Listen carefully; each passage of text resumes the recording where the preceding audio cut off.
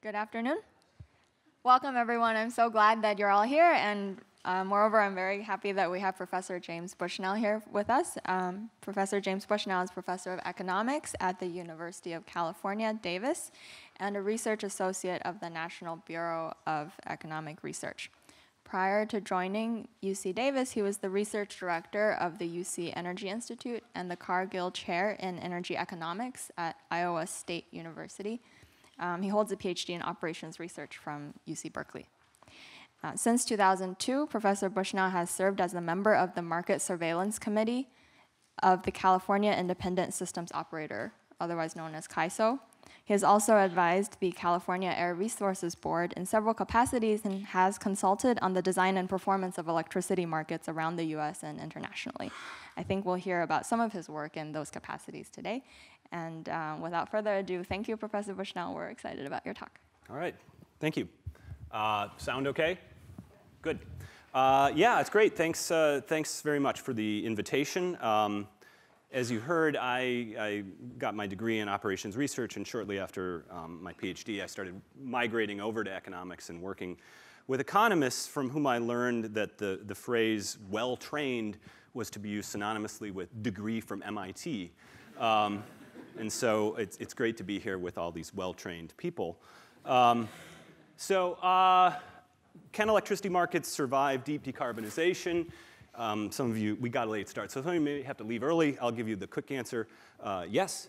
Um, the longer answer, uh, which is going to be a lot more nuanced, uh, is uh, I, the way I think about it is that I don't see decarbonization fundamentally changing the arguments that I've been part of for the last 10, 20 years, in the sense that um, uh, since their inception, restructured, liberalized, deregulated, whatever term you want to use, electricity markets uh, have struggled to find this balance between the right kinds of short term uh, pricing, particularly under scarce uh, conditions and maybe excess supply conditions, uh, providing uh, market based incentives to try to improve efficiency, um, balancing that with a need for uh, raising capital for investment, long-term financing for plants uh, on the seller side and on the buyer side, hedging exposure to prices.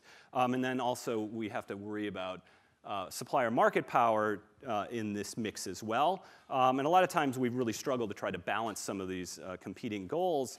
Um, and I think we're going to still continue uh, to struggle, but I don't see high, uh, high shares of variable energy resources, renewable generation, fundamentally changing these questions, although it is going to kind of raise the stakes, as we'll talk about, and, and really bring some of these trade-offs into sharper focus.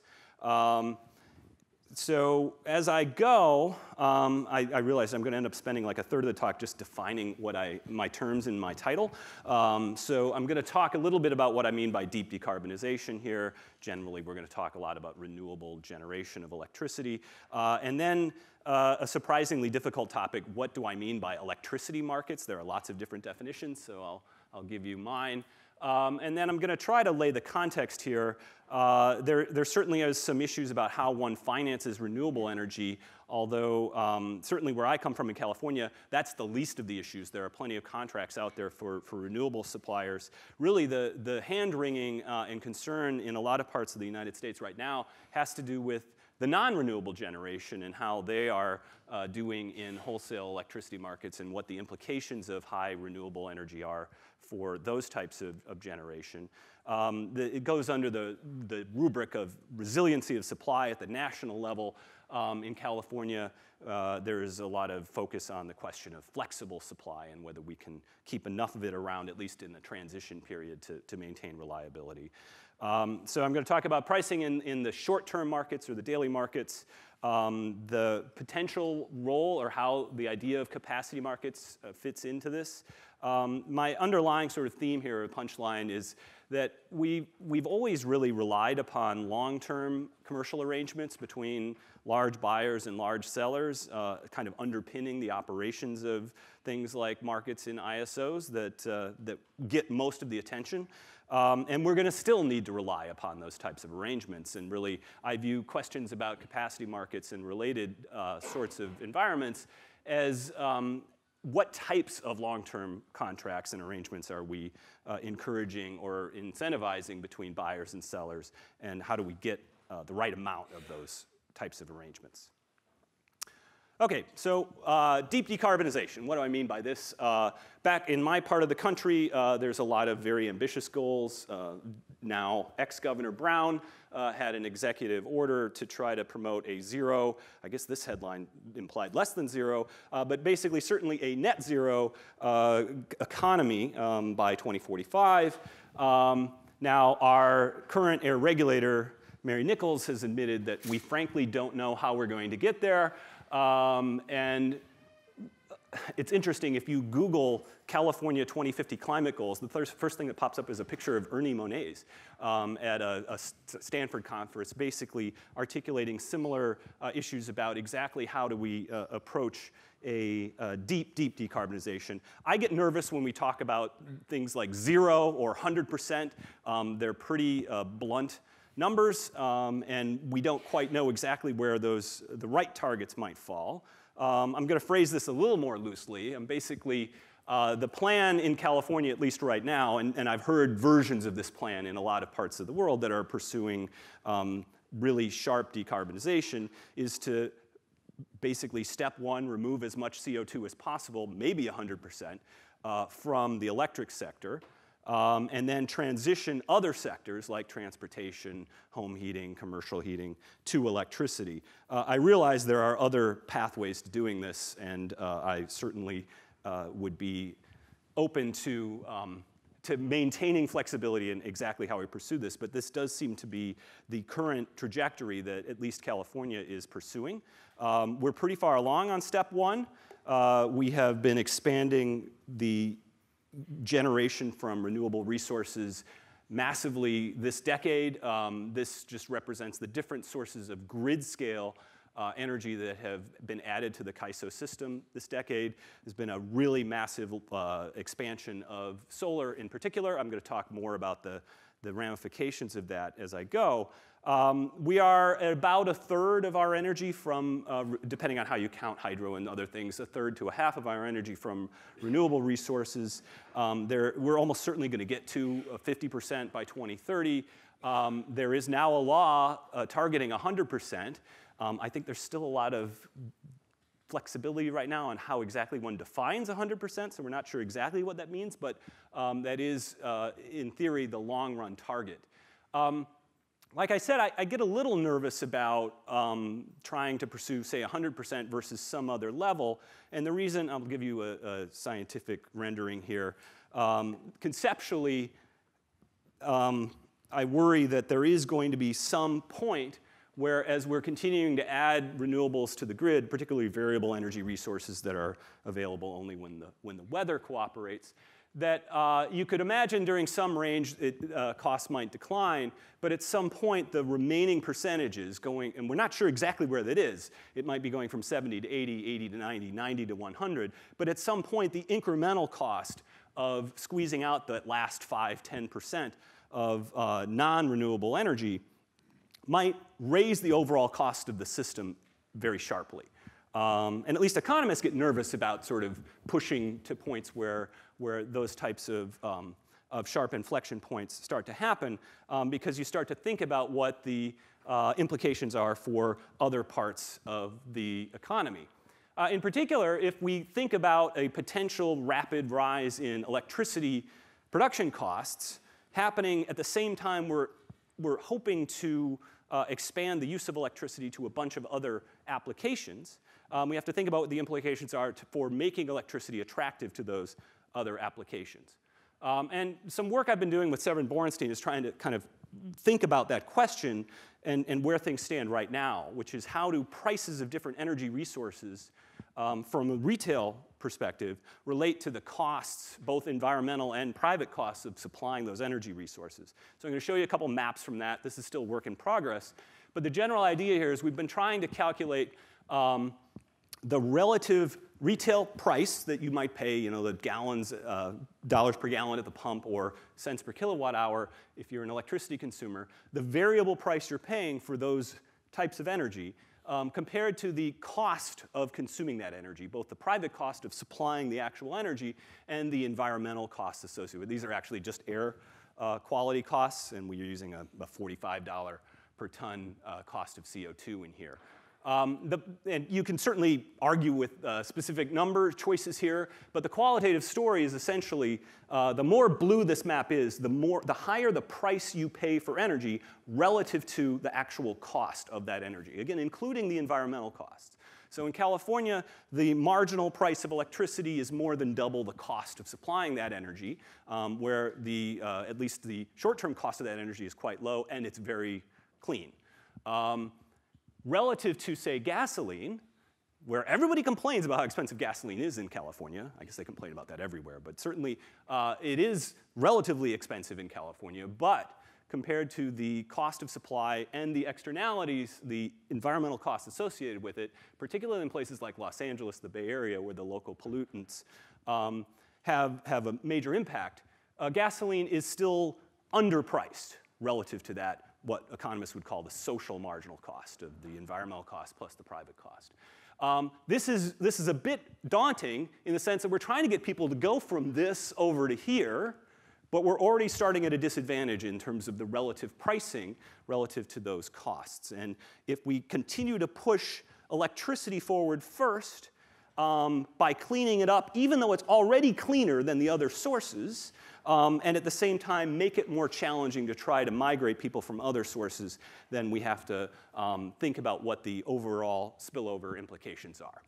Um, I have natural gas on here. I don't really have enough time to talk about it. Um, the reason there's a lot of gaps in that map is just uh, it's been harder for us to collect the kind of pricing data that we, uh, that we would like. All right, you might be curious about your part of the world. Um, it's same story. Hate to break it to you, your electricity prices are high. Um, and your gasoline prices are also high, but it's also dirty. Uh, so uh, again, in uh, the Northeast, you have the same sort of qualitative story that the uh, electricity is overpriced relative to its social marginal cost, whereas gasoline is underpriced relative to it. All right, so that's kind of the where, where I want to go in terms of deep decarbonization. We're thinking about what the implications for the electric sector are of maybe not 100%, but of a large uh, scale up of the amount of zero carbon resources, particularly if they're coming from these variable energy resources. All right, so what do I mean by electricity markets? This is a more complicated question than you might imagine, because there are lots of different dimensions to uh, what might, one might describe as an electricity market.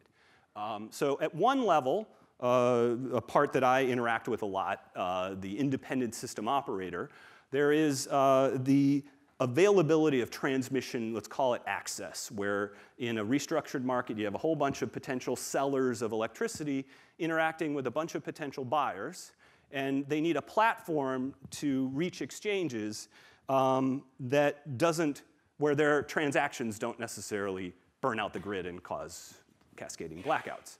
Uh, so that's where independent system operators come in, they try to uh, accommodate these kinds of commercial transactions between decentralized buyers and sellers, um, while at the same time maintaining system reliability. And they do this by running uh, things that we call markets. Uh, they have sort of the lingo and trappings of markets.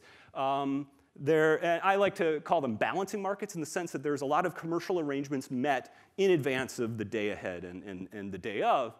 Uh, and as those transactions are tweaked and adjusted to real-time system conditions, um, the ISO basically will uh, purchase or sell electricity on the margin to try to make sure that supply is equaling demand in all the right places and at all the right times. Um, like I said, they, they, we use the lingo of markets, but there's really just a big optimization program running behind the scenes here that's trying to minimize the cost of operating the system uh, it's not unlike this kind of programs that were run back on the days of regulation. It's just instead of uh, a utility staffer or utility employee's cost number going into the software, it's a bid coming from some kind of supplier or maybe even a consumer. All right, so that's the platform, the ISO. Uh, at the customer-facing level, there's, in some parts of the country and world, retail competition where the the company you are personally buying electricity from. You might have choice between different sources of that. Uh, unfortunately, I don't really have any time to talk about this in detail. There's some interesting things going on uh, in California with regards to community choice aggregation. Maybe we can come back to that, but um, I'm not going to have a lot of time to focus on that. So I'm going to focus mostly on the third component. It's kind of my favorite definition of what electricity uh, restructuring means, and that's really the transformation of how generation resources are compensated.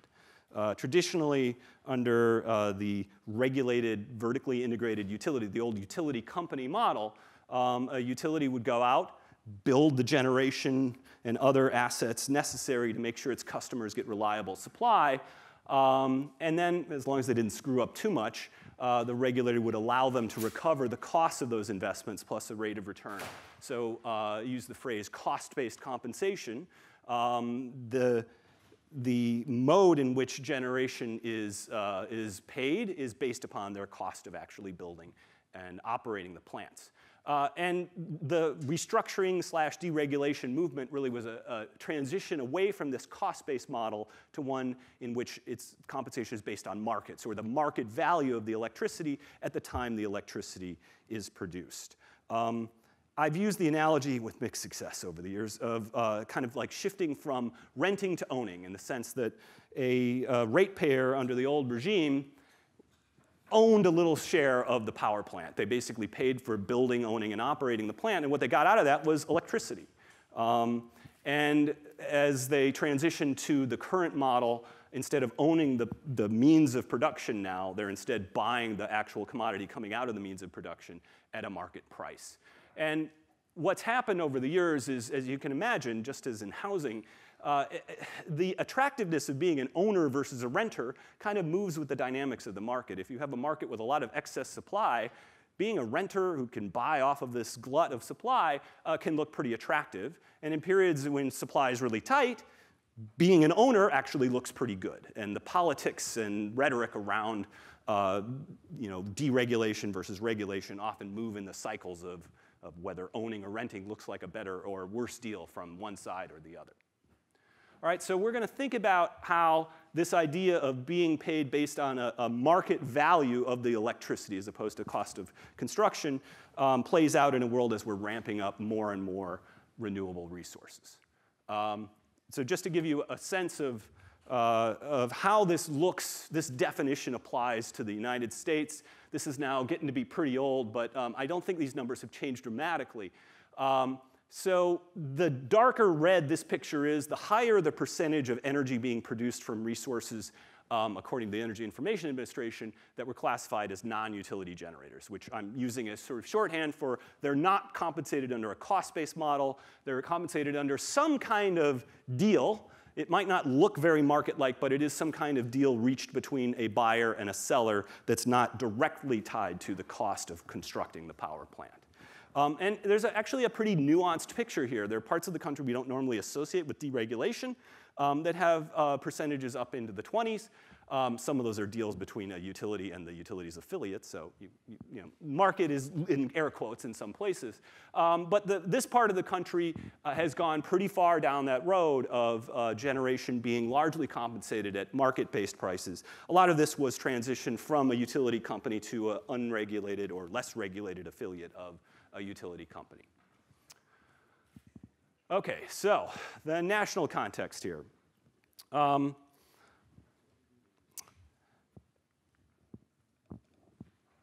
right now, in the last, say, five years, there's been um, a pressure on the sellers of electricity coming from low energy prices, uh, posing serious financial challenges. Um, there's been work out of places like here and, and, elsewhere, sort of trying to trace the sources of this, basically uh, some combination of low natural gas prices, mostly low natural gas prices, and uh, renewable energy contributing to these low wholesale energy prices. Um, I'm going to correct myself a couple times. There, in, the back of my, in the back of your heads, you need to keep track of the fact that when I talk about prices, most of the time I'm going to be talking about wholesale prices. Um, these are the prices on the ISO markets and are largely linked to what these generation resources are compensated. Um, and then there's going to be retail prices that will come up periodically. Uh, they are not necessarily the same thing. So the story, in fact, they're often quite different. Uh, so part of the story here is as wholesale prices have been declining, retail prices have, have actually been rising. Um, and that's been uh, part of the added pressure here. All right, so I'm talking about wholesale prices here. These are low, posing uh, challenges, particularly to baseload generation sources like nuclear and coal. Um, the federal government has been, uh, period, uh, the last few years, uh, trying through a few different avenues to try to come up with ways to, uh, to provide support to what they call uh, resilient resources that are baseload generation resources. Um, at the same time, many states have targeted different types of resources for different reasons. Um, there are several states with aggressive renewable uh, mandates and renewable support policies. Um, there are several states, Illinois, New York, and others, that have supported their nuclear generation through um, certain types of uh, direct intervention. Um, states like Ohio have tried to support their coal resources. Uh, it's still sort of ongoing. Um, so different states have different sets of reasons, and they're all sort of uh, trying to, uh, to support different types of, of, resources. The issue from a federal uh, perspective often is that these state level policies, because these states share pooled electricity markets, um, spill over and affect both prices and, and environmental outcomes in their neighboring states. Uh, so from a federal perspective, where there are laws governing what is fair interstate trade and what is um, reasonable competitive practice, um, they're still struggling with what these types of targeted policies mean for the ideas of what fair, um, fair markets uh, imply. Now, in California, the context is um, specifically on what to do with certain types of generation that the, our system operator, the CAISO, deems as necessary, at least in the near term, for maintaining the reliable operation of our, uh, our regional network. Um, and in, we use the term flexibility here. Uh, yoga is really big in California. Um, that uh, it, the idea is we need resources to try to be very quickly responsive during periods in which the renewable resources are not available. Um, and there is concern that these types of resources are not earning enough out of the market today. And they're, they're also having trouble finding counterparties on the buyer side that are willing to uh, make deals with them, or at least admit that they're, that they're buying power from a gas plant, which is kind of not viewed as, um, as a good look for a California energy company. Um, and therefore, they have periodically threatened to retire their conventional generation resources. There have been interventions um, by the ISO and, uh, and at the regulatory level to try to prevent these types of retirements. And there's still a struggle for exactly how to find enough uh, compensation or if the market is providing enough compensation for these types of plants.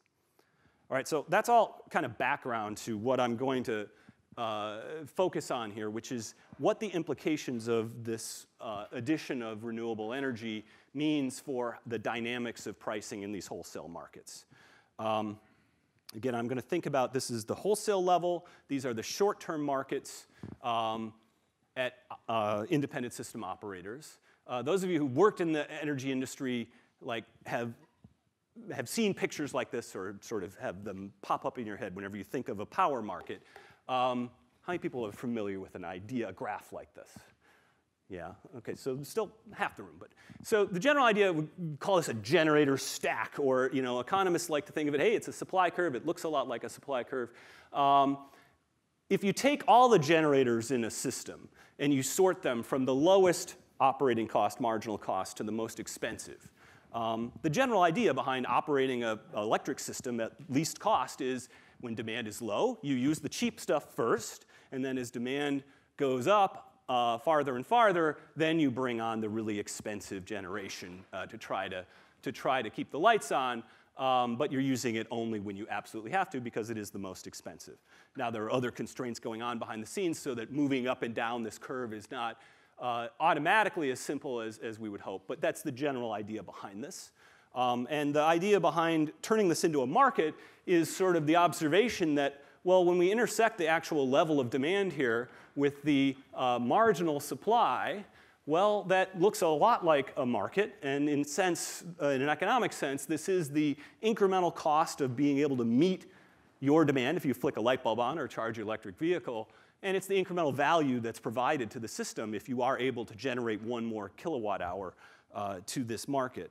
So uh, setting the price or rewarding suppliers at this short-term price and charging customers at this short-term price is, uh, in the economic sense, the efficient signal to be sending as to the value of energy at any given point in time. All right, and we're just used to these kind of convex curves where, yeah, sometimes the price is low, sometimes the price is in the middle most of the time, sometimes the price is really high, um, but we're just kind of moving up and down this curve. Now, the, the challenge that a lot of people have in their head when they think of a world with um, large or 100% renewables is, well, renewables has a, a, wind and solar has a marginal cost essentially of zero. It's all capital. Uh, and so in a lot of people's minds, they are forming a supply-demand relationship that sort of looks like this, where uh, we're going to just have lots of wind and solar hitting the system, and demand is kind of going to move up and down, but the incremental cost is always going to be zero, and so we're just going to have sort of a zero price on this market all the time. And uh, if we have a zero price on the market, uh, how is any supplier supposed to make any money? How are they supposed to recover any cost towards their capital? Um, now, there are still going to be some issues about recovering costs, but I, I want to push back against this notion, because this is uh, essentially a, uh, th this would be a mistake if we get to a market that looks like this. Because this means that the added value of electricity is zero all the time. Uh, and so that probably means we built too much if we're in a world that looks like this. It almost certainly means that we did. Uh, instead, there's some things missing from a picture like this. All right. Uh, now, you know, uh, people, I, have run into people who've worked on sort of strategy on the internet, and they sort of think about this as renewables as disruption of the electricity industry, akin to, say, how the book publishing industry or the recording industry was disrupted. But the big difference in electricity generation is, uh, you know, Amazon can crank out another ebook for me at zero marginal cost. So there isn't a quantity limit at how many uh, ebooks Amazon can make. Where there are limits, there are capacity constraints on how much renewable zero cost generation any given solar or wind unit can produce at any given time. So capacity constraints really matter, um, and that's going to enter into the idea of how prices um, should work. All right, so what's missing from that picture, first and foremost, is this idea of scarcity pricing. Um, when we accept the fact that we can't just produce unlimited renewable energy at zero cost, um, then we have to sort of deal with how uh, we clear this market in periods in which we do not have unlimited capacity. Um, and we do this now. Um, so the general idea is when supply uh, is tight, or when just even a specific type of supply is tight, prices are set above that offer price of every generator. So they are earning a price above that incremental cost, and that contributes to their recovery of capital cost. Maybe enough, maybe not enough. That's sort of where the debates are right now. Um, now, I can draw supply and demand pictures. I'm going to show you a simple one in a second. But in actuality, the way this works is through the software. Um, in essence, the software is trying to minimize the cost of meeting everyone's demand, subject to a whole bunch of different considerations like generators can only ramp so fast, transmission line constraints need to be honored, um, reserve requirements need to be maintained, uh, and none of these constraints are really 100% rigid. There are engineering standards. We know engineers always like to give a little bit of wiggle room. Um, and so a lot of these constraints we can relax without necessarily threatening, um, well, with an incremental impact, not necessarily an automatic blackout. So when I say scarcity, I don't mean we're causing rotating blackouts.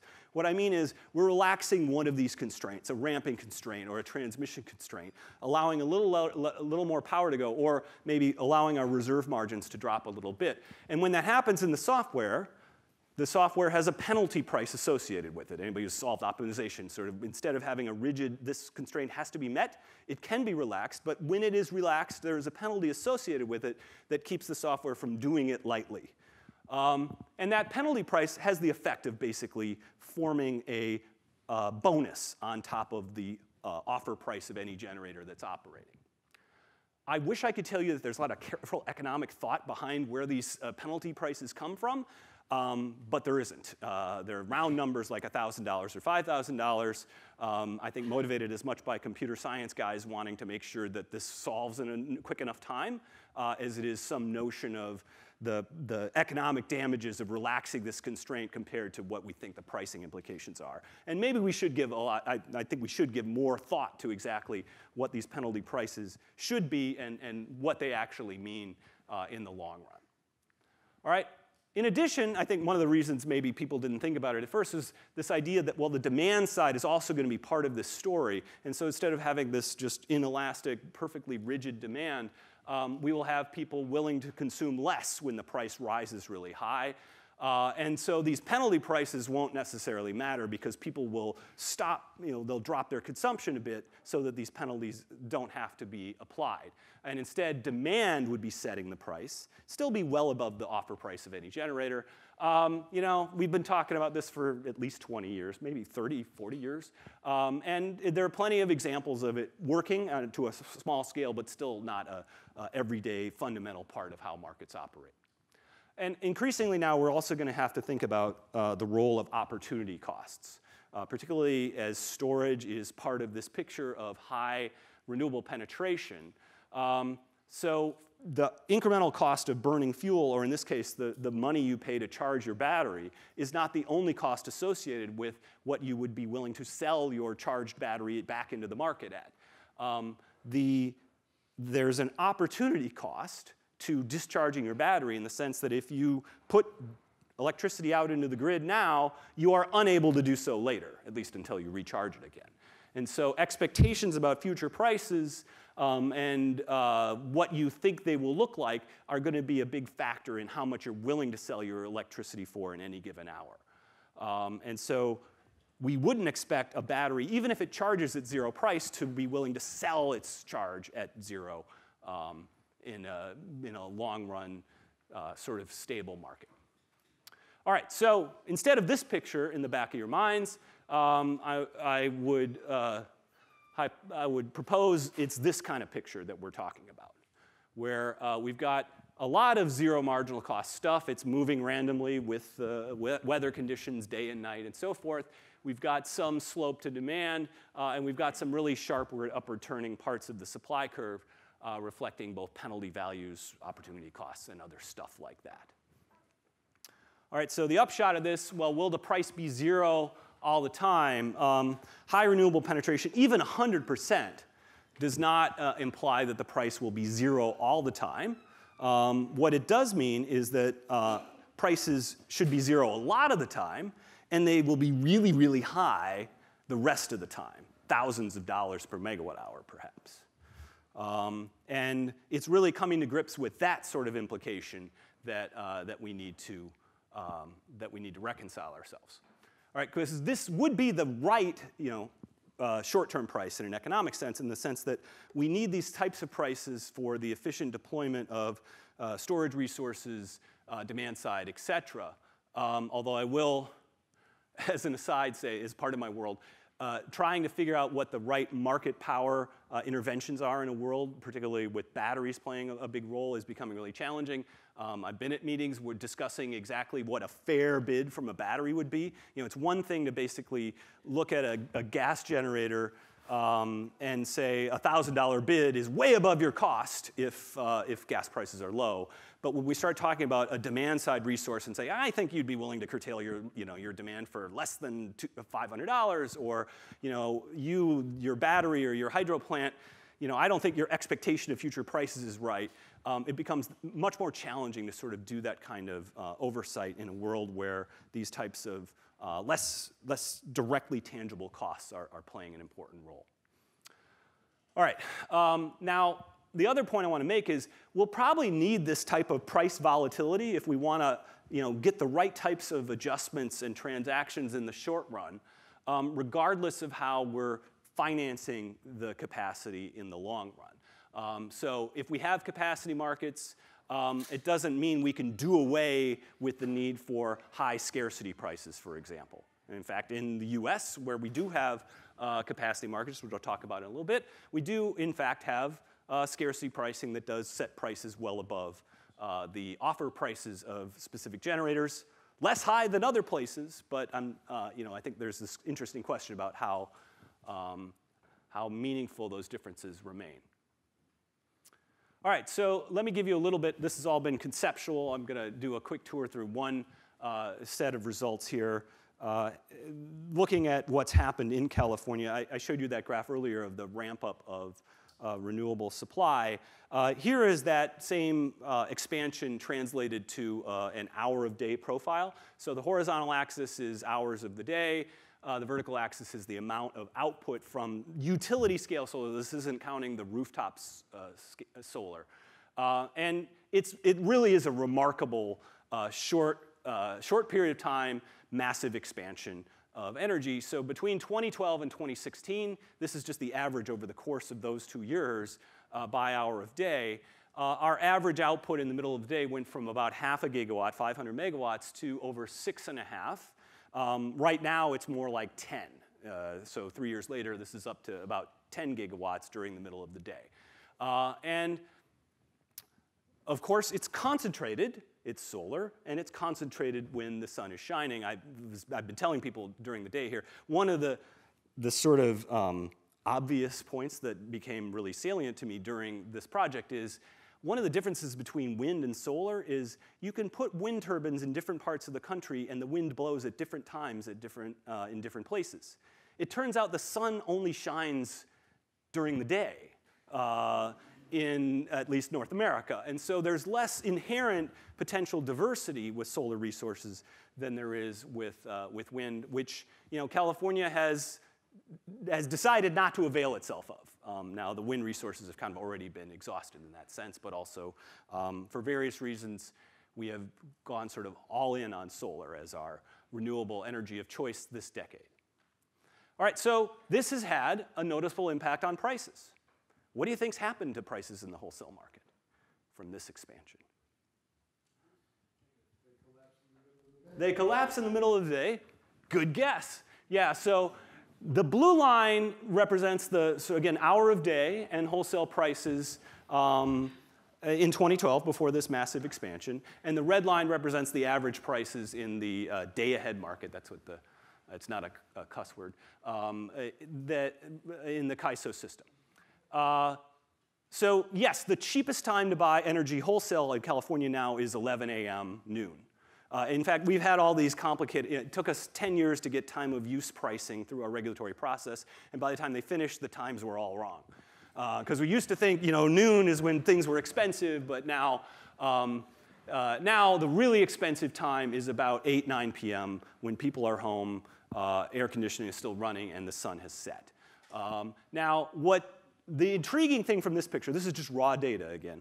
The intriguing thing is if you notice, prices have gone down a lot in the middle of the day, but they've actually, they, they're higher during the times when the sun isn't shining uh, in 2016. Now, there's a lot of other reasons why that might be the case. This is just raw data. So this paper is basically devoted to going through the checks of, well, what could the other things be, controlling for them. And it does turn out that the simple picture actually tells the story pretty well. More solar does actually increase prices during the shoulder periods as well as decreased prices during the middle period. Uh, and I, I bring this up as part of the earlier discussion to sort of, this is heading down that road of prices that are getting a lot lower some of the time and getting higher uh, short other periods of time. Um, in fact, underneath that higher hour 17, 18 are some $600, $700 prices, bringing that up. All right, and that, that I actually find this comforting. It means the market is kind of working, at least in a qualitative sense, how we would want it to in response to this massive influx of supply that's concentrated in a uh, narrow part of the day. Now, you know, it, it raises questions about whether we, uh, what our policies are that are giving us only that middle of the day supply. Um, but as far as the, the CAISO's market and its response to that, um, it is uh, what we would hope it would be. All right, I mentioned this is wholesale prices now. So the, the people in between this market and my house are retail companies. I, until recently, my provider was Pacific Gas and Electric. Um, and they are buying power from these renewable energy sources under long term contracts, um, largely under mandates from our, uh, our climate policy to rapidly expand the renewable portfolio. Um, and our RPS standards have been successful in building up a lot of renewables very rapidly, but one consequence of that is that the utilities or anybody who has customers is ready to sign a contract with pretty much anybody who has a plausible renewable energy project. Um, and in the early years, those were rather expensive contracts. Prices, as you, have no doubt heard, have declined very rapidly, uh, but this period featured some expensive contracts as well. And partly as a consequence, PG&E has paid sort of above market prices for long-term contracts that have added more energy to the middle of the day and ended up sort of suppressing the wholesale price on average, although that average, as I said, masks a lot of heterogeneity in time of day. So the black dots here represent the, uh, the wholesale price, and if you imagine a retailer, we don't really want them to do this, but if a retailer just bought off the ISO market every day, um, they tried that in 2000, it didn't work so well, um, that uh, that, that's the prices they would be paying. And they are declining, reflecting the fact that we've been pouring additional capacity on this market, a market that actually already had enough capacity, but because we're trying to replace the existing fossil capacity with new renewables, um, you know, we have a glut of supply, basically, and that has led to lower um, spot prices. But that new capacity is still financed through long-term contracts that have affected their procurement costs, which is represented by the height of the blue portion of this uh, of the bar graphs. So the bar graph represents the price I'm paying on average, um, and pretty much every component has been going up, uh, except taxes, surprisingly, I guess. Um, the distribution and the transmission component has been rising as well. But I guess what I want to highlight here is the difference between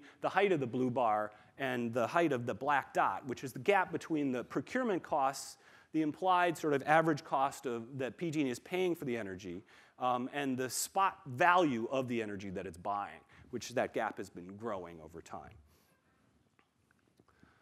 All right, so the upshot here um, renewable energy has been added rapidly, uh, largely through long term contracts between the, uh, in, the, in the industry, we use this jargon load serving entity. It's somebody who has a customer that consumes electricity. Um, mandates to buy renewable energy are applied to these load serving entities, and they are out signing contracts to get new renewables built, uh, selling to them. Um, whatever, it's an interesting market dynamic, but if you buy energy under largely a fixed price uh, long term contract, as a seller of renewable energy, you're just earning that price no matter what the actual value in the ISO is. Um, PG&E and other load serving entities are sort of the residual claimant on that value. Um, and they don't seem to have focused too much on um, whether they want to buy renewable energy during other times of the day through some other types of projects. Instead, they, they, the dynamic seems to be to focus on just maximizing the number of renewable kilowatts they can get. Uh, and that dynamic has continued. We're continuing to add more solar, um, which is probably going to reinforce this dynamic of depressing the price in the middle of the day. So each additional gigawatt of solar purchased in California has an incrementally lower value than the gigawatt before because they're all sort of putting supply on the market at the same time. So as a result of that, retail prices have crept higher. Um, you know, they've been offset by other trends that, that contribute to lower prices, but overall, um, retail prices have gotten higher, whereas on the CAISO level, um, prices are lower on average, but higher during some periods of the time, which I would argue is the right response to the facts on the ground of having lots of solar. And one implication of that, back to sort of what the California context uh, would be, is if you're a flexible generator that is able to generate maybe twice a day for a couple hours in the morning and the evening, um, this, at least qualitative pattern in prices, uh, is better news for you than if you're, say, a nuclear plant that's just running all the time. Lower average prices are just bad news for a baseload generation plant, but a plant that can take advantage of those short-term price spikes uh, is in a better position. All right, so the, the peaking plants, uh, the flexible generators in this market, um, they are, the, their relatively higher value to the market is reflected in the market pricing, although there's a big debate going on now. Okay, they're earning more. In fact, what we document in the paper is they're, they're getting hurt less than other types of generation. If you're flexible, you've lost a little bit of money from this renewables revolution, but a lot less than if you were a baseload power plant. So is it enough to stay in business and keep around, to recover your ongoing fixed and, and capital needs? All right, and that's where uh, the question of how we finance investment uh, comes into this picture. Um, all right, so I'm going to talk a little bit about capacity markets, but I, would intended to spend most of my time, and then I realized I thought initially I had 75 minutes, and then I read my email more closely. Um, so I'm, I'm going to talk quickly about it. Um, so one of the interesting facts that people like Paul Joskow have documented over the years is if you look at um, the amount of money available to a generator, if, if they were essentially selling into a short-term market, if you built a generator with your own money and all you did was sell into a CAISO or other types of ISO markets every hour, um, which almost nobody has done, although a couple, couple companies tried and it didn't go well for them, um, you would have, it turns out, not made enough money out of those short-term markets to cover what we think is the reasonable uh, sort of all-in cost of owning and operating a plant. Uh, so this has sometimes been referred to as the missing money, this odd gap between the, the value signaled by these short-term markets and the cost of actually owning and operating a plant. Um, and the existence of this missing money, which is pretty persistent in, in all parts of the US at least, um, is, is often referenced as, uh, as evidence that need, there needs to be some other money. Missing money implies there's other money needed. Um, I should say missing money is a somewhat flexible term. In my experience it, with stakeholders, it means money they are not getting. Um, and so depending on who you're talking to, it has a different definition. Um, I'll define it here as the, this gap between the, the prices in the short-term markets and, and what people estimate the needs for new uh, investment or ongoing investment would be. Um, and so this has often been cited as a need for uh, capacity payments or other side of payment. Um, now, I don't necessarily disagree with any of this, but I do want to sort of um, push back on the notion that capacity markets are even more necessary in this high renewable world, or that they're, they're the answer um, that's a simple way, because capacity markets themselves um, face challenges in this uh, high renewable world that, um, that I'll, I'll talk about a little bit. And I do want to point out a couple facts here. So money has been missing for a long time in all of these markets. Um, and yet we've kept building power plants in all these different markets. Uh, and so this is um, just, again, from the EIA, uh, additions of capacity. The stories vary. You know, we have different types of markets in the United States. The blue is the old school regulation cost of service. Um, we have some markets that, that pay for capacity through a centralized market, some that pay through another type of mechanism, some that don't pay for capacity at all. Uh, others have sort of gone back and forth. Um, and they've all added capacity of one stripe or another over the years for different reasons. Um, so it's not a necessary condition for investment. Um, it might lead to better investment. That's really hard to, to try to tease out. Um, so the point here is that there's something else going on that's driving investment that's unrelated to the short-term energy prices. And there's a lot of different things that have continually buffeted this market. So there is this long-term procurement dynamic between large buyers and large sellers, which we hope is based upon market expectations, but there's a lot of other influences playing in, including regulatory mandates to build more renewable power plants, for example. There's also vertical integration, where companies are focused more on what uh, their retail sales are than necessarily the, uh, the, the ISO markets.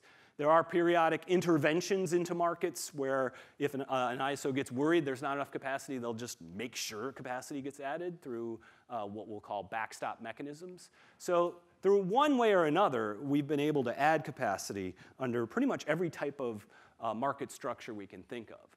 Uh, and one of the one of the problems this poses um, is when we want to think about what the missing money means then. Well, all this investment both causes missing money and is impacted by the missing money. And it's really hard to sort of tease out then what conclusions um, we can make from, uh, from that measurement of it. Um, and I, I, look at different markets. I was trying to sort of look at prices can go high in all parts of the country. They can certainly go higher in places like Texas.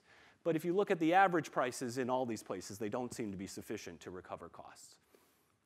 At least if, that, if all they were doing was, was buying off and selling into the short term markets, there would be problems, but there are other things going on. One of those other things is what we will call a capacity market. Um, and I, am going to use that term a little more loosely than, uh, than a rigorous definition would apply. But um, it's essentially a way of compensating generation in addition for the generation being paid for that energy they're selling at those kinds of prices I've been showing you pictures of. Um, they are usually mandated uh, by some kind of market operator or regulator. Uh, anybody who is a load serving entity, who has customers who use electricity, is required to uh, make a payment to the suppliers uh, based upon some estimate of what their peak demand would be, either next year or multiple years into the future. Um, and the idea is this, is this would supplement the money that's missing from the short term markets to ensure that there's enough revenues to uh, both build and maintain capacity at levels necessary to meet these peak demand conditions. So there's a bunch of different ways you get to this point. California, instead of having a, a single market, it has a, uh, a requirement, a mandate if you sell electricity to a customer in California, um, you have to go out and buy capacity. Just like if you have a car, you have to go buy liability insurance. So it's a, a purchase mandate of that kind. Um, and there's a regulator that does checkups to make sure that you bought capacity uh, of, of a kind they approve of. Um, other parts, like the New England here, has a centralized capacity market, which um, essentially the ISO goes out and buys capacity for everyone um, and then we'll allocate costs for, uh, for that capacity based upon the actual peak uh, consumption. It, this latter model works better in places where the capacity is purchased far in advance. In New England, it's three years. That, uh, and because it's easier to forecast total system demand three years out than it is the demand of one specific uh, load-serving entity. All right, so there are different ways. Uh, there's also a lot of different types of contracts that this this constitutes. So I'm going to basically say, describe or think of this as this is a sort of a, a requirement to every load serving entity that they sign a long term contract of a certain kind. Um, and you can think of it as a way to hedge their supply risk.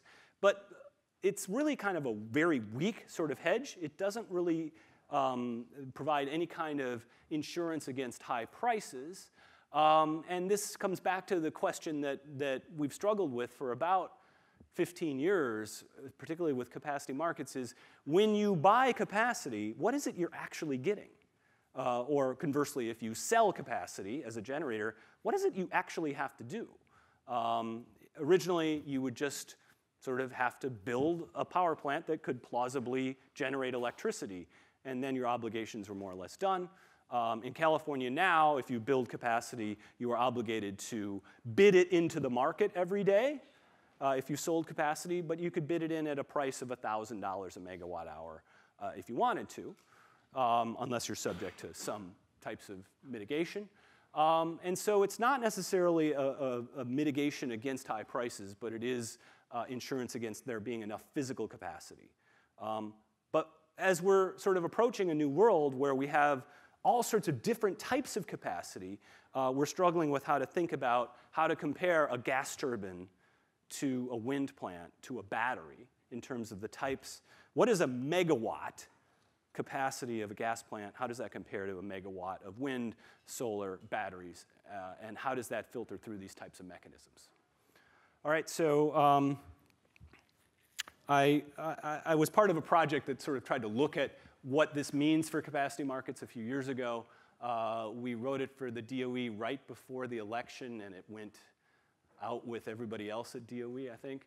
Um, so uh, what, what we saw was that there are, there's real sort of stresses hitting the traditional model of capacity markets here that are being challenged uh, by several factors. The biggest is this influx of alternative resources. So for example, in California, the resource adequacy requirement, or the capacity requirement, um, is being met increasingly by solar plants. All right, so the reliable supply that is procured under a capacity mechanism is being uh, provided by solar. Um, and so that's raised this question of how do you compare a megawatt of solar capacity to a megawatt of wind to a megawatt of a gas turbine.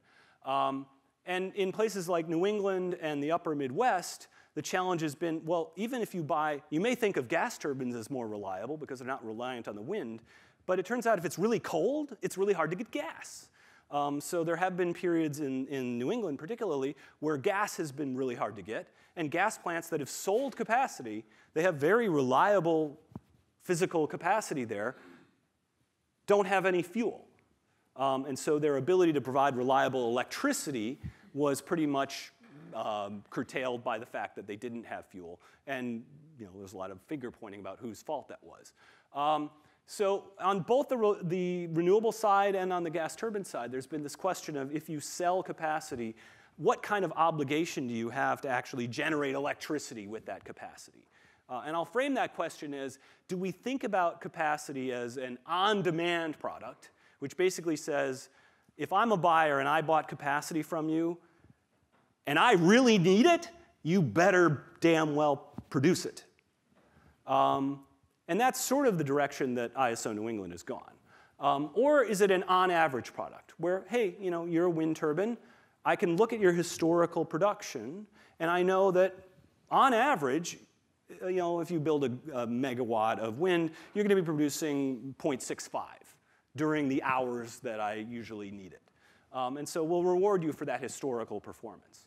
Uh, and markets have kind of gone back and forth um, you can imagine different sides of this debate sort of favor different interpretations.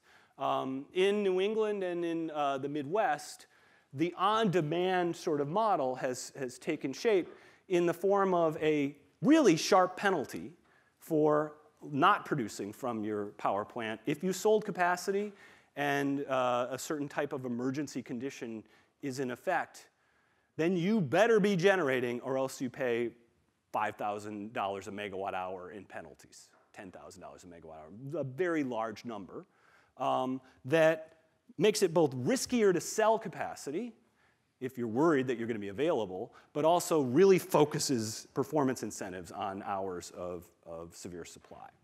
Um, California's resisted this model, uh, and one of the things I've been interested in is trying to figure out, it's, it's a new thing, and, and I, I, um, I would have expected renewable resources to just drop out of this market altogether once this big uh, performance penalty was put into place, but that doesn't seem to have been the case.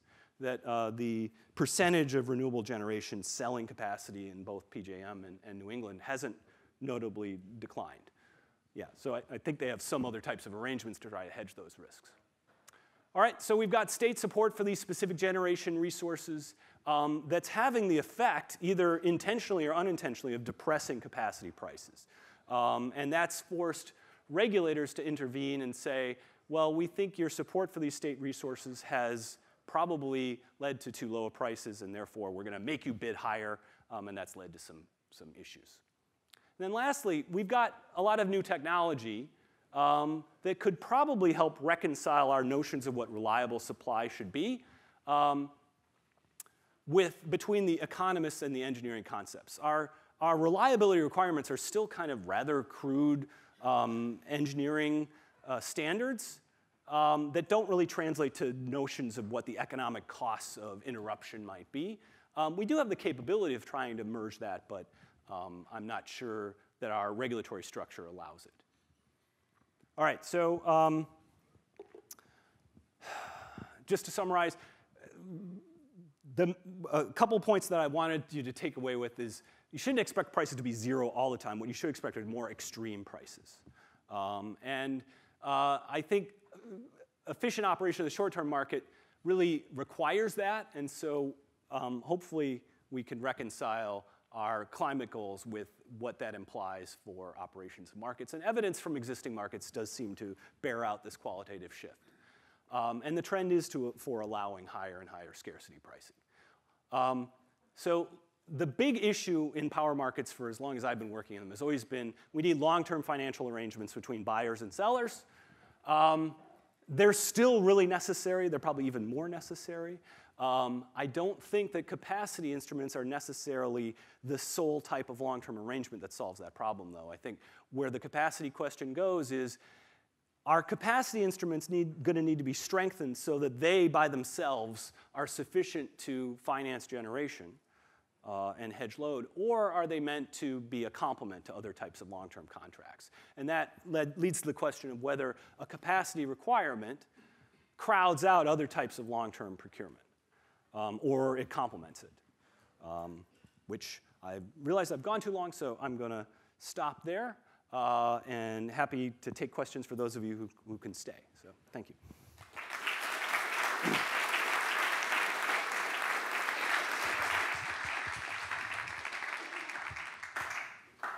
I should add these comments are drawn from a bunch of different papers. Those, the, just the references will be available online in case you wanted to look more.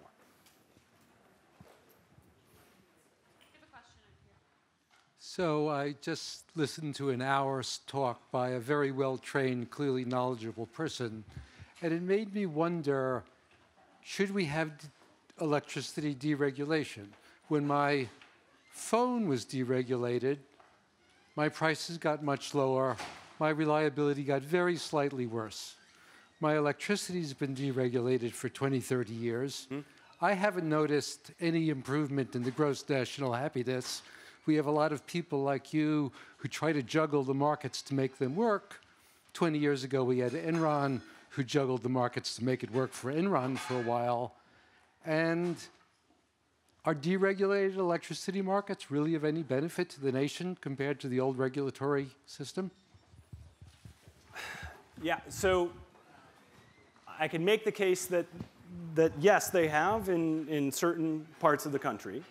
Uh, and some of, the, some of the work here has sort of outlined that the, the process of, of restructuring in a lot of parts of the country ended up being a bet on the natural gas price over the last decade. Uh, and in places, so during the periods where natural gas prices went up, um, places that deregulated ended up paying increasingly high prices. But since 2008, um, places that have restructured have experienced prices that have risen much more slowly than places that remained regulated. California is a bit of an outlier because of uh, you know, the crisis and some other things there. Um, there's been a lot of bottom-up sort of focused studies on what the implications of, of uh, let's call it deregulation have been. Um, the nuclear power fleet's operation has improved massively as a result of that. Not enough to keep those plants, some of those plants around, apparently. Um, the, uh, the efficiency of other types of power plants has improved. Um, but you know, the, the retail customer um, outcomes have been very mixed, it's true. But part of that is that you know, retail prices have been much more tied to other commodities that sort of move. Uh, when you have a deregulated market, the prices are going to be much more responsive to whatever that price setting type of fuel would be. And in that case, it's been natural gas in this country. And when natural gas is high, deregulation has been bad. The last few years, actually, deregulation has been pretty good um, because those wholesale prices have been lower, and that has been more directly passed through in, in the more deregulated markets than the, than the, the less deregulated markets. Yeah. Oh, sorry. Uh, now that 50% uh, of the California population is on community choice aggregation, How's that affecting the long-term financial arrangements or contracting arrangements for the utilities? Yeah, no, it's, uh, it's, it's a real, it's, it's maybe the second California, oh, I'm being taped. Um, okay, so um, I, I, really, really worry about it because one of, the, one of the stylized facts, I've been trying to get more hard information about this, is that the, the CCAs, these are small community retailers that um, I guess they have in, in Massachusetts as well. The, yeah, the, they, they first of all, don't have strong credit initially, um, and that restricts their ability to sign long-term contracts. And secondly, um, they have been focused on providing you know, 100% renewables and stuff like that. So what that means is the contracts they are signing have been with those solar plants that are generating during the middle of the day. And the net result is they are pretty much buying off the spot market when the sun isn't shining um, or they're buying on contracts that are indexed to market prices. at the same time, we've been seeing little hints of increased market power in California uh, starting to creep in as well. And I don't think those two things are necessarily unrelated. Um, so I do really worry that we uh, that, and it's not. I, I think the advent of CCAs could be a good thing in the sense that we had kind of a monolithic single uh, regulatory agencies sort of directing procurement, and to the extent injecting different ideas into that, there, there's an argument that there's a benefit there. But the short-run—I've got some skeptics in the front row, um, that you know, the short run consequence has been that there's been a, a real shift to short run procurement that, that I do worry uh, for a bunch of different reasons is, is, is leaving the market much more exposed to short run prices. Um, another weird dynamic is because every retailer is sort of promoting high renewables as a retail product, you know, they're willing to buy renewables, but no one's willing to admit that they're buying from a gas plant. Um, and so purchases from gas plants are coming from kind of more generic system uh, kind of contracts pegged to market prices rather than any kind of long-term contract with a, with a gas generator. So it's sort of a build upon this discussion about CCA. Um, and also, one of your slides mentioned about the retail rate in comparison with the blue-colored uh, energy procurement. With that increasing disparity, it makes the case for perhaps more of a CCA type and maybe even more aggressively for behind-meter edge technologies, transactive energies, and things of that sort happening at the retail level. Well, so, so I, I, would agree, ahead, but I don't think that's necessarily a good thing uh, because the pressure then for CCAs, to the extent that um, you know a CCA can go buy at that black dot, um, but the blue bar that's a that's a 20-year contract PG&E signed, and so when my CCA when I leave PG&E to go to a CCA I'm leaving PG&E with that contract. Uh, and, and that's not, that's not, it doesn't go away. So uh, the structures that have been put in place to deal with that inequity of, of customers who are left behind is to have an exit fee associated with migrating to a CCA, where I still pay a share of that blue bar, even though I'm now uh, a customer of YOLO Clean Energy. I guess my question is perhaps along this line of saying that if you imagine maybe a little bit longer term, say 20, 30 years down the road, mm -hmm. when the edge technologies, behind meter technologies become really cost competitive, there's many, many transactive activities happening, maybe not even being accounted for by the utility companies. How are we even think about this whole capacity or planning problem when you have lots of uh, Uh, retail level transactions? Well, I'll, okay, I'll, I'll just say that if, if behind the meter technologies become cost competitive, that would be great, but they should be paid the black dot. So the problem is, is when you're behind the meter, you're implicitly avoiding all of this, including the grid costs. Now it's going to be California wildfire liability payments. And those are costs that don't go away when you generate you know, distributed energy. Um, and so I'm all for you know, having that kind of technology compete. But right now, there's a very strong implicit subsidy of those types of technologies because the rates in California are all variable, and all of those other fixed costs are lumped in, and they're avoided being paid for by, uh, by distributed generation.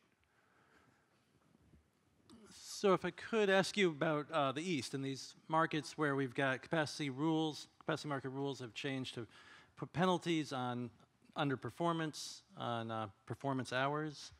You said you thought uh, renewable energy would be withdrawing from the market. Haven't seen much of that. Is this really a problem that there's not enough performance hours? There's an oversupply, actually. We just have those renewable generators riding a wave of oversupply. But you think there's a hedge going on? I, I don't know. I, I, I, started trying to dig up data on this for this talk. Um, and uh, you know, this is the very first year of the performance capacity in New England, to my knowledge. Uh, PJM's had a few more years of it. I mean, they bought it three years ago. but This is the first year it's been in effect. Um, and so uh, what I've been able to, to dig out is who's selling it um, to some degree. But uh, I, I don't think we've had enough data yet to know exactly how, how it's impacting actual operations. I, I personally think it makes sense. It's sort of merging some of the energy incentives that high energy prices are meant to provide um, in, into a capacity market model. Um, I know that there are some sellers that don't like taking on that liability risk, but uh, it seems like it's an appropriate level of risk in the sense that what, if, if what you're trying to buy is, as a, as a buyer capacity, is actual reliable capacity. Uh, and so it comes closer to an energy sort of mechanism in that sense. But I, yeah, I, I think we should all be paying more attention to how well it's working. Hi. Um, yeah, I had one question. You, uh, I saw the graph, um, you know, between uh, 2012 and 2016, um, and with the influence of like PV in California. I was wondering, like, at the end of the day, are people in California paying more or less uh, for the electricity they're getting, if you take into account like justice for like price, commodity, and inflation? um, and by are they paying more i'm like wondering like what is like is the weighted like average of the electricity going up or going down between those two dates 2012 and 2016 15 uh, 16 yeah Right. So, and, and that basically that, that kind of thing is being picked up here. So the, the average price between the hours that went up and the hours that have gone down does average out to a little bit lower. So you can see the black dots here basically reflect the, the, the yearly average of all those hours. And they are declining somewhat. But the price I pay has been going up because those, basically those renewable plants are not being paid that price. They're being paid a contract price that is being entered into because the load serving entities need to sign those contracts to comply with the renewable mandates that they are, uh, that they are subject to. So they're willing to pay above market prices in order to meet their renewable requirements. And yeah. Then you get the blue bar here. So the blue bar is what PG&E is paying for energy. Uh, that's my retailer. They pay sellers of energy through contracts and other things. My bill breaks out the sources of cost. They're paying the, the height of the blue bar, and the value of that energy on the wholesale market is the black dot. And so the gap between what PG&E is paying to buy energy and that, and that wholesale value has been, has been getting larger over time. Hi, Professor Bushnell. Thank you for the talk over here on the on your right. Yeah, um, I really appreciated your simple mental model of kind of low prices most of the time, with some high prices uh, or very high prices some of the time. But uh, I think you also noted that those high prices have not been particularly popular among regulators and and uh, other interveners in the industry. And so, kind of as you think about moving forward uh, into these into a market where you have much higher penetrations of renewables, can you maybe pontificate on what types of structures uh, might work in this world if you do have these kind of constrained energy prices that we have, or constrained scarcity prices that we've seen in, in most of our uh, organized markets outside of you know ERCOT and, and Australia? Right, but okay, so, and this is one of the things, um, I, I, scarcity prices, even in markets, you know, without, that aren't called energy only markets, have been relaxed and have been rising uh, quite a bit over this decade and, and continue to sort of, uh, there, there, are, there are definitely issues with operators that are worried about reliability and sort of maybe unintentionally take actions that, that lower prices and all sorts of other things. But we've seen prices in the multiple thousands of dollars in every one of these markets. So mechanically, there's nothing preventing it. I think there's, a, there's an endogenous sort of amount of capacity that is, uh, is enough that we're not hitting those scarcity levels um, with uh, maybe a high enough frequency, depending on what you consider the right amount of frequency. But I'm not sure that the design itself, I don't know whether 2,000 is enough or 5,000 is enough. Um, and part of it depends upon how often we hit those levels, for example. Um, but there's, you know, we have had $5,000 prices in California if you get enough of these penalties sort of pancaking on each other. Um, so mechanically, there's nothing actually preventing it. And, you know, politically, no one's noticed actually, but that's because it's been for five minutes and it hasn't really affected energy prices, and the utilities have been fully hedged. Um, so maybe if, uh, back to the earlier discussion, if we do have a, a large amount of it, um, but we are in a trend where right now the market designs are emphasizing more uh, frequent and higher scarcity prices. Um, yeah, thank you for this talk. Um, so I have a question about energy storage and specifically how energy storage is and will impact capacity markets, and then also your recommendations for um, changes regulatory to regulatory constructs that could incorporate the um, ability for energy storage to provide increased reliability. Um, okay, so one of the, I'm glad you asked about storage because I had one slide that I brought just in case. Um, so you would think storage is great for dealing with these kind of shortages, particularly batteries.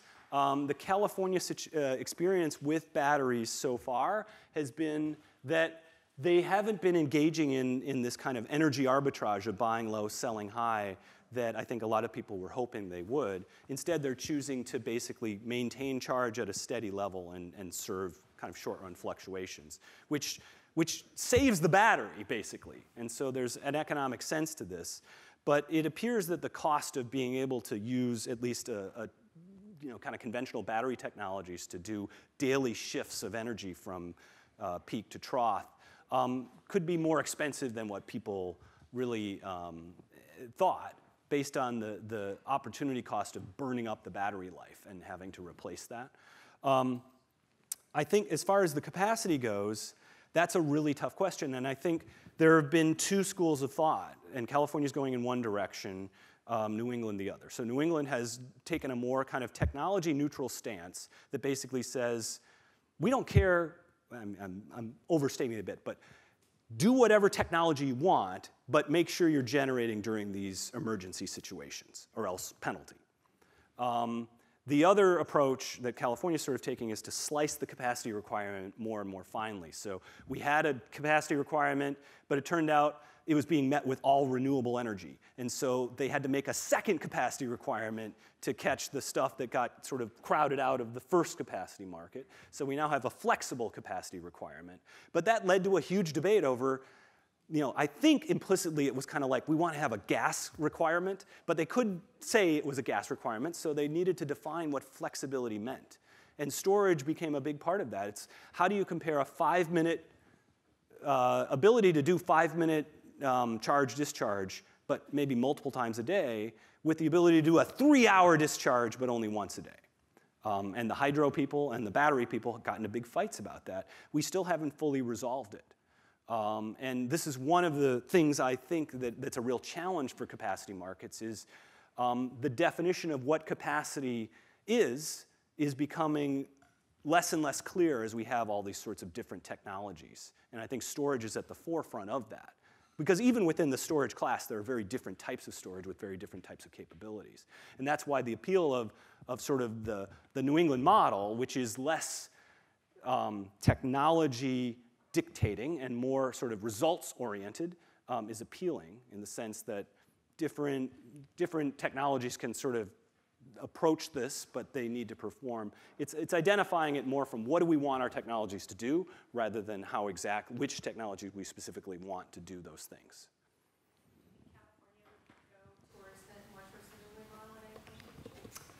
I've raised it a couple times and there has not been a lot of enthusiasm. Um, but I do think that's, that's part of the reason why I want to um, sort of compile more evidence about exactly how, how it's working um, to, try to, to try to maybe raise that case again. Um, I should also add, California has just a, a, a, storage mandate that's, that's equivalent to a renewable portfolio standard. So every load serving entity has to buy a certain amount of storage. Um, and so that's, that's adding storage to the network, uh, to the market outside of any of these other sorts of mechanisms. Are there any sort of lessons learned from global markets where you might have a lot of hydro, like in Canada or Brazil, or a lot of nuclear, like in France, where you end up having a market like this, which is essentially zero marginal cost for a long time, and then these peaky points where you really need more supply? Well, I think the lesson from hydro markets is it's, it's sure, life is sure easier when you have a lot of hydro. Um, and, and, market design becomes a lot easier, um, except when there's a drought, actually. And so the, the, that's, that's also been uh, sort of a challenge in places like Brazil, where um, you know, most of the time the things are, instead of prices sort of being like this from day to day, it's more, they're like this from year to year, and then every 10 years there's a drought and prices are just high all the time in, in the hydro-based markets. So again, it's not zero because there's this opportunity cost and there's a scarcity component because when you have hydro, if I let the water go through the dam today, I can't use it tomorrow. And there's an implicit value, an opportunity cost associated with that that's factored in. Now, when there's a lot of water, uh, that opportunity cost can kind of drop to zero. And so periodically, when, when it's really wet, it will do that. But um, in general, what you see in hydro systems is the price is, is pretty stable from day to day, but will have these big swings um, hour to hour. And, and those markets have really faced a challenge because their capacity instruments, what they really need is some gas or something to be around once every 10 years, you know, when, um, when, when there isn't enough rain. And, and that's, that's been a more challenging way to uh, try to implement. Uh, people have approached that. Uh, Frank Wolak has done some stuff trying to uh, push a, a kind of energy contracting mandate in those kind of circumstances. France, I know less about. I mean, I, I you know, people in the nuclear industry, there's a lot of I hear a lot of opinions about what the actual marginal cost of a nuclear generator is in terms, well, in terms of sort of actual annual costs, and and so um, those systems, I'm not sure France counts as a market either, um, and so I, I I don't know if I'm in a good position to to comment on that. Yeah. Um, over here, um, there's a bipartisan bill in Congress called the Energy Innovation and Carbon Dividend Act, and it would put a $15 per ton uh, fee on coal, oil, and natural gas and increase it $10 per ton every year thereafter. And I'm just wondering if that type of a policy would change anything that you had to say today. Um, no, I think it, you know uh, one of the one of the things I didn't get a chance to emphasize is what I've been talking about today is more um, how electricity markets react to climate policy. Um, I do think that we shouldn't use our electricity markets to implement climate policy by, say, you know, favoring the dispatch of one type of energy over another through a non-market kind of preference. But um, I, there, there are, the short-term markets are, are well positioned to sort of capture, for example, carbon pricing. They do it in California. They do it in RGGI, but you know, for what it's worth. Um, and, uh, and I, I, you know, I think the results would be predictable in the sense that you would see uh, higher marginal prices in the short run. Um, and I think in the long run, you'd end up in a similar sort of circumstance where it depends on what that marginal technology is. Um, if it truly is everything zero carbon on the electricity network, then it is true that carbon pricing wouldn't necessarily raise prices anymore. But that's because reducing electricity consumption would not or increasing electricity consumption would not create any more carbon. Um, and so there being no carbon price in that circumstance would actually be reflective of the circumstance. But I, I suspect where we're going to end up is with some role for traditional generation for quite some time to meet you know, these, um, these peak periods. Uh, carbon pricing would add to those prices during that period, increase the returns for low carbon resources. Um, in the interim, I think, you know, the problem of, I, I worry about nuclear plants retiring. Um, the question of whether they should retire or not, if we had a real carbon price, is hard to answer. Um, but we would know the answer if we had a real carbon price. Um, 15 is a little low by my sort of guesstimation, but it certainly might be enough, actually. I, am not sure where you guys, where the experts, the well trained people here have come out on that. Um, but one, you know, I'm sure one of the perverse things that, that people have noticed is by, by layering all the zero carbon uh, renewables onto the network, it has lowered the average energy price and it has made life harder for a baseload nuclear power plant, which is also zero carbon. Um, and so if, if renewables are being supported solely as a carbon policy, there is this kind of perverse, uh, counterproductive uh, result, potential result there. You know, is it enough to be causing the retirements is sort of an open question. But if we were doing it through carbon pricing, I think we would know the answer to that. Uh, thank, thanks again for being here. I'm up here. Um, uh, had a question uh, regarding CASPR in uh, New England. So with uh, CASPR, it, it, looks like it's going to be fairly difficult for sponsored resources to gain access to the capacity market at all. Um, and what that uh, seems to, to be likely to result in is a lot of capacity laying outside the capacity market, but being procured on state mandates anyway. Does that create any challenges for capacity markets uh, or the system overall? Um, you stumped me. I, am not. I, I, we should talk afterwards because I'm not uh, enough up to speed on that interaction to to um, to speculate. I well, from what I understand about the MOPR, what, one thing I definitely worry about is if, if we got capacity that's there, we don't necessarily want to build more capacity and pretend that the capacity that's already there isn't there.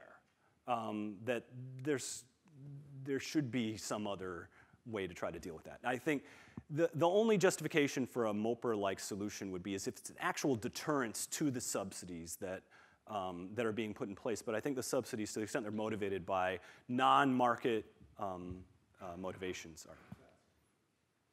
All right, there's the like Last question, I think. Last question. So thank you for the presentation. So you actually, during the talk, uh, differ about uh, engaging more the demand side and everything was more focused on the supply. So what kind of mechanisms do you think that we can use in order to start uh, engaging more actively the demand side? Um, well, I think the, the most important sort of first step is to uh, reform retail rate structures so that all these fixed costs aren't part of them. Um, I do know that you know, right now batteries have a strong incentive to go behind the meter um, to avoid certain types of fixed charges, and that actually makes them less inclined to participate in the wholesale market because the, the everything the wholesale market does is, is fudged up by 15, 20 cents a kilowatt hour by all those fixed costs. So I think a, a transition to more of a larger monthly fixed charge and a short-term price that is much more uh, better aligned to the wholesale market price would be like a really important first step. And then, you know, we can have debates about what the right type of dynamic price would be. There are all sorts of, of good ideas floating around, and, and most of them have had pilot programs that have been reasonably um, successful. Uh, but I, I do think what's interesting is in markets with retail competition, it seems like you talk to retail providers, they say, nobody wants to buy this sort of dynamic pricing product. Um, and so there does seem to be, they believe there's a lot of customer, that it's not real appealing to customers. Um, and so uh, that's an interesting thing to try to, now, you know, maybe they have, if, if prices start to take the types of extremes we've been talking about, that, that could certainly change, especially if we're talking about, hey, zero prices during 10 a.m. to 4 p.m. Um, that, could, that could get people's attention. Um, but it won't help, the zero energy price won't help if they're also paying 15 cents a kilowatt hour for the transmission um, during the same, same time. All right, I've kept everybody like a half hour late, so thanks for sticking around.